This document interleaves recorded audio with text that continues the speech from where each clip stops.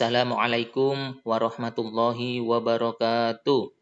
Bismillahirrahmanirrahim. Hamdan wa syukran lillah. Wassalatu wassalamu ala rasulillah. Amma ba'du. Apa kabar anak-anakku sekalian? Semoga kita semua dalam keadaan sehat walafiat dan selalu dalam lindungan Allah subhanahu wa ta'ala. Baiklah anak-anak, pada kesempatan kali ini kita akan belajar tentang pendidikan agama Islam dan budi pekerti kelas 4. Sebelum pembelajaran ini kita mulai, marilah kita awali dengan membaca doa. A'udzu billahi minasyaitonir rajim. Bismillahirrahmanirrahim. Rabbi zidni ilma warzuqni fahma birahmatika ya arhamar rahimin. Amin. Ya Rabbal Alamin. Materi yang akan kita pelajari kali ini adalah santun dan menghargai teman. Nah, anak-anak, tahukah kalian apa itu santun? Santun berarti halus budi, baik bahasa, dan sopan tingkah lakunya. Orang yang santun itu biasanya sabar, tenang, sopan, penuh rasa belas kasihan, dan suka menolong. Itulah anak-anak yang dinamakan dengan santun. Sedangkan menghargai itu berarti menghormati mengindahkan, dan memandang penting kepada orang lain. Nah, anak-anak, orang yang tidak menghargai itu berarti orang yang meremehkan atau tidak peduli kepada orang lain. Nah, anak-anak, kenapa sih kita disuruh untuk santun dan menghargai teman? Allah Subhanahu wa taala berfirman dalam surat Al-Hadid ayat 9. A'udzu billahi minasyaitonir rajim.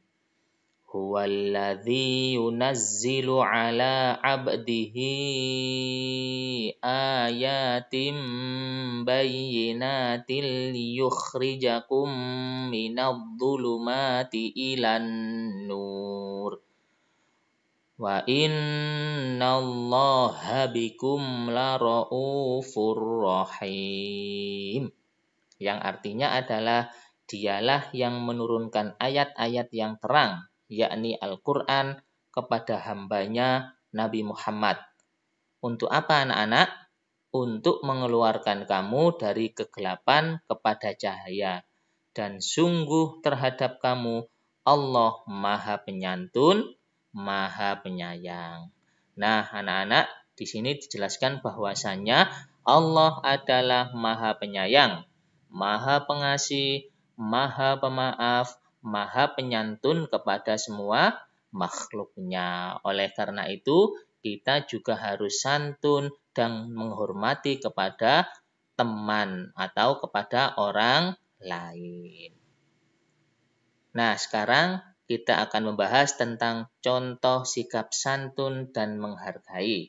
Nah, contohnya di antaranya adalah yang pertama, mengucapkan salam, selalu memperhatikan dan bermuka manis atau berseri-seri saat bertemu. Sebagaimana hadis Rasulullah yang artinya adalah janganlah sekali-kali kamu meremehkan sesuatu kebaikan, walaupun hanya dengan muka manis Nah, bila kamu bertemu dengan saudaramu, hadis riwayat Muslim. Kemudian yang kedua yaitu ketika berbicara, kita harus berbicara dengan lembut dan tenang.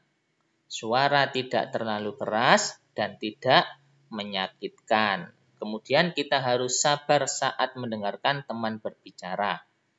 Hindari kata-kata kasar, keras, kotor yang dapat menyakiti hati orang lain. Kemudian yang ketiga, peduli terhadap keadaan teman dan suka menolong kesulitannya. Misalnya, apabila ada yang sakit atau terkena musibah, usahakanlah untuk menjenguknya. Yang keempat, berteman tanpa pilih kasih. Nah, kita harus bersahabat dan bermain dengan siapa saja, baik itu kaya, miskin, normal, cacat, dan lain sebagainya. Yang kelima, tidak mencela dengan perkataan yang buruk.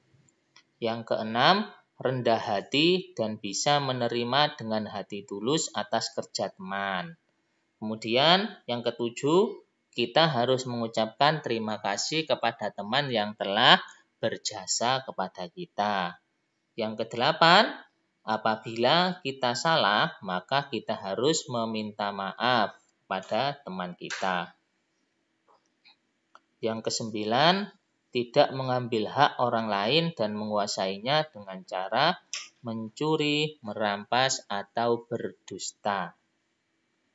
Yang kesepuluh, memberikan ucapan selamat, sanjungan, dan pujian secara langsung ketika teman kita memperoleh kesuksesan. Nah, anak-anak, itulah santun dan menghormati kepada teman. Alhamdulillah, pembelajaran kali ini sudah selesai. Mudah-mudahan apa yang kita pelajari kali ini dapat bermanfaat bagi kita dan mendapatkan ridho dari Allah Subhanahu wa taala. Baiklah, marilah kita tutup pembelajaran kali ini dengan membaca hamdalah alhamdulillahirabbil alamin dan doa penutup majelis subhanakallahumma wa bihamdika asyhadu an la ilaha illa anta astaghfiruka wa atubu ilaik. Assalamualaikum warahmatullahi wabarakatuh.